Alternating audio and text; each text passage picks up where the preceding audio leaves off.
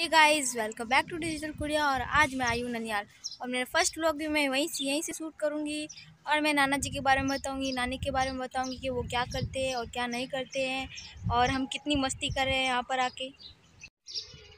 ये हमारे गुलमोर का पेड़ है और ये हमारे गेट है घर के अंदर वाला। अभी सीधा मैं घर के अंदर जाऊँगी और आपको घर बताऊँगी कि हमारा घर। यहाँ हमारे नाना जी ने काफ़ी सारे पेड़ लगाए और भी यहाँ पर।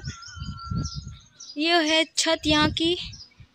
और देखो ये इतने सारे पेड़ है और यहाँ पे पपीता लगा हुआ है और ये चांदी का पेड़ और आगे वो तो फूल्स लगे हुए आगे यहाँ पर। ये बहुत सारे और भी बहुत सारा और मैं आपके साथ खेत बताऊँगी, आपको बताऊँगी। और मैं अभी घर के अंदर आई हूँ, आपको दिखाऊँगी। ये मुस्कान है जो हाथ धो रही है अभी। और ये देखो, बहुत प्यारा हमारा घर।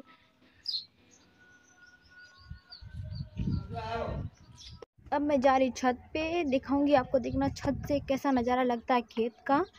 अब जाके दिखाती हूँ मैं आपको। ये देखो, इतना अच्छा लग रहा है और वो वहाँ पे नाना जी खड़े और नाना जी के दोस्त खड़े हैं वहाँ पर। वो बहुत अच्छा नज़ारा, इस सागवान के पेड़ बहुत बड़े हो रखे हैं, बहुत, ये आगे बहुत अच्छा है। और यहाँ पर देखो खेजड़ी है, वो खेजड़ी है। और ये तो मैंने आपको पहले पौधे दिखाए थे और ये मैं अब जस्ट ऊपर से दिखा रही हूँ। देखो। नाना जी, पता नहीं कुछ पेड़ के साथ कुछ, पता नहीं पानी दे रहे, पता नहीं क्या कर रहे हैं। वहाँ पर आगे बकरियाँ खड़ी है, बहुत। वो आगे पानी की टंकी है और ये हमारे दो टावर है। ये देखो यहाँ का नज़ारा कितना प्यारा लग रहा है कितना प्यारा। और ये सब हमारे नाना जी की वजह से है, क्योंकि नाना जी ने मेहनत की है, इतनी सारी पेड़ पौधे लगाए, नानी ने भी बहुत सारा साथ में काम किया है, पानी देना, ये इतना सब करना बहुत मुश्किल होता है। ये देखो, हमारे यहाँ पर बहुत सारे सागवान के पेड़ है, बहुत सारे सागवान के पेड़ है।